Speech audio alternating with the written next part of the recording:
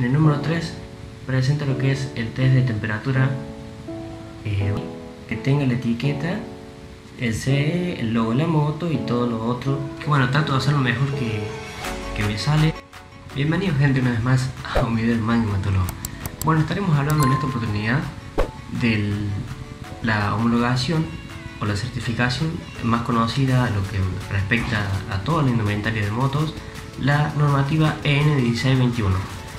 ¿Qué significa esto? Bueno, dentro del intro y empezamos nomás y te explico todo.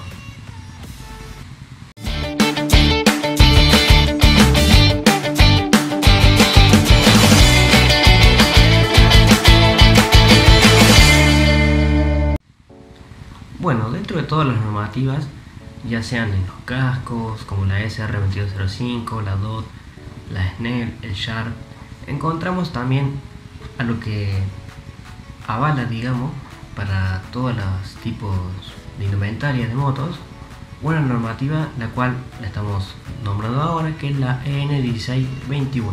Y tengo un ejemplo de lo que es una protección. Esta es una protección del pantalón que tengo aquí atrás, el pantalón mío que es de cordura, el cual, bueno, aquí en la etiqueta interna vamos a encontrar el logo certificado el cual tienen que ustedes fijarse siempre que tenga eh, el logito de la moto porque eso está indicando que la prenda de indumentaria es certificada. Bien ahora les voy a mostrar una imagen y vamos a pasar a explicar qué significa cada, cada dibujito cada logo digamos que tiene la etiqueta. Bueno ahora bueno gente, les voy a explicar un poco sobre qué es la normativa N1621.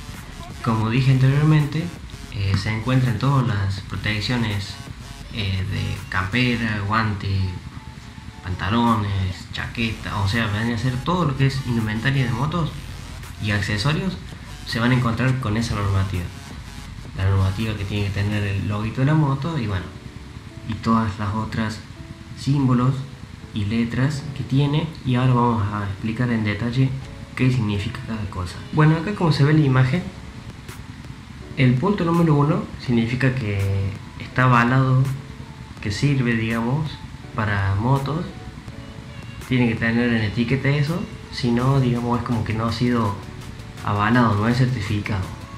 En el número 2 presenta lo que es el tipo de protector y la categoría, si es eh, tipo A o tipo B. Y bueno, después en el número 3 presenta lo que es el test de temperatura eh, baja, aprobado. En el 4 presenta lo que es el test de temperatura alta, aprobado. Todo esto obviamente ha sido probado en una máquina que le hacen análisis científicos, los cuales obviamente son testeados rigurosamente, son duros los, los test, en el cual bueno, las, las pruebas se llevan a cabo en todo elemento de protección, ya sean las rodilleras, en los protectores cervicales, en los guantes, pantalones, camperas, en todo tipo. Y en el número 5 nos va a informar el nivel de protección que nos da ese elemento o ese accesorio de seguridad que estamos comprando si es nivel 1 o nivel 2 para el cual el nivel 1 tiene que soportar fuerzas menores a 35 kilonewtons o sea nos tiene que transmitir en un accidente el, menor daño posible. Tiene que soportar eh, fuerzas menores a 35 y en el nivel 2 nos tiene que transmitir una fuerza menor a 20 kN. Bueno, cuando estamos hablando de la categoría, en el punto número 2, tenemos que se diferencian por letras, en donde nos vamos a ubicar por las letras la K, que significa en la rodilla, la S en el hombro, la E en el codo y la H en la cadera. Y bueno, así es como se ven eh, las etiquetas en las camperas y bueno, todo elemento de seguridad. Así que para la próxima, cuando quieras adquirir una prenda, tenés que sacarle la protección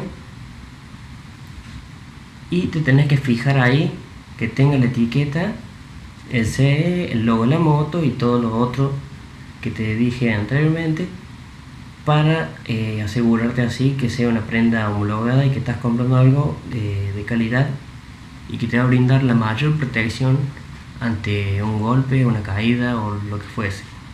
Así que bueno gente, espero que les guste este tipo de información.